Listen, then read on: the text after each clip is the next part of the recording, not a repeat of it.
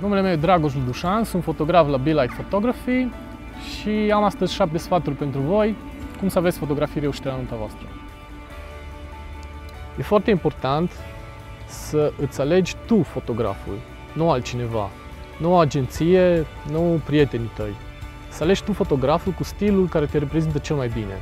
După care următorul pas e să te întâlnești și să vezi care este omul din spatele camerei, dincolo de fotografii.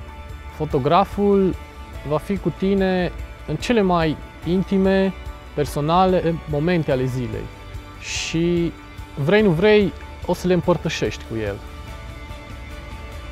Ședința foto înainte de nuntă e timpul în care vă acomodați cu fotograful, în care vă obișnuiți să fiți în, în fața aparatului de fotografiat.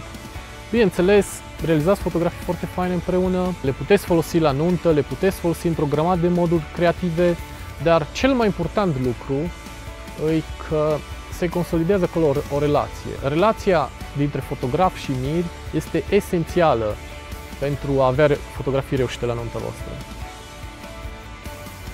Locația are și ea un rol foarte important.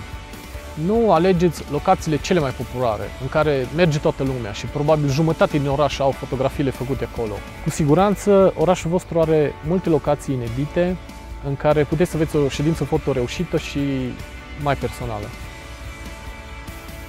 Organizarea timpului.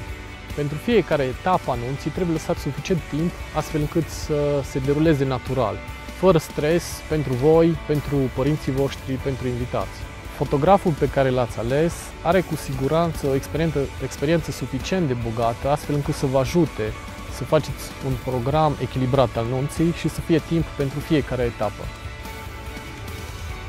Personalizați-vă nunta fiți creativi. E nunta voastră, nu e nunta românilor, nu e nunta familiei, în primul rând e nunta voastră și trebuie să o faceți să fie cât mai a voastră. Blogurile de nunți oferă foarte multe resurse pentru a avea o nuntă creativă. La fel vă puteți inspira de pe Pinterest sau chiar din nunțile prietenilor, dar cel mai important este să vă uitați la voi înși vă, la pasiunile voastre, la felul în care vă petreceți timpul liber.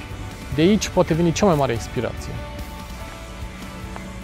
fii tu însuți și ai încredere în fotograf. După ce ai ales fotograful, ai plănuit totul, decorațiunile sunt gata, totul e pregătit, nu mai rămâne decât să te bucuri împreună cu partenerul tău, cu familia, cu prietenii. Mulți miri uh, și mirese își iau un rol de mire sau un rol de mireasă în ziua anunții și încep să facă lucrurile care trebuie să le facă mirii în ziua anunții. Nu trebuie să fiți altcineva în ziua anunții voastre fiți doar voi înși vă. Nu uitați despre ce este până la urmă vorba. De ce ați depus atât de multe eforturi pentru o singură zi? Dragostea voastră.